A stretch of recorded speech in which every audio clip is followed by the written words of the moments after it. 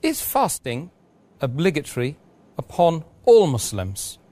Or is there a distinct group that Allah refers to when it comes to fasting, in the month of Ramadan particularly? Alhamdulillah. Wassalatu wassalam ala Rasulillah wa ala ali wa ajmain. There are five conditions to be fulfilled to make fasting obligatory on any person.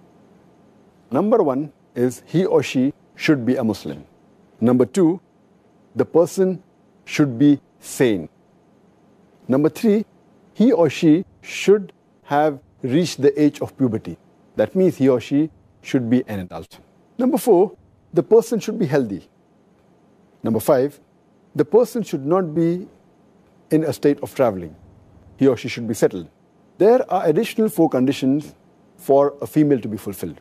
If it's a woman, if it's a lady, if it's a female, there are additional four conditions to be fulfilled to make it obligatory on her. Number one is that she should not be menstruating. She should not be in a position where she has postnatal bleeding. She should not be breastfeeding and she should not be pregnant. So, for a woman, if all these nine conditions are fulfilled, then it becomes obligatory on her. And for the male, only the first five conditions have to be fulfilled to make it compulsory for them to fast in the month of Ramadan.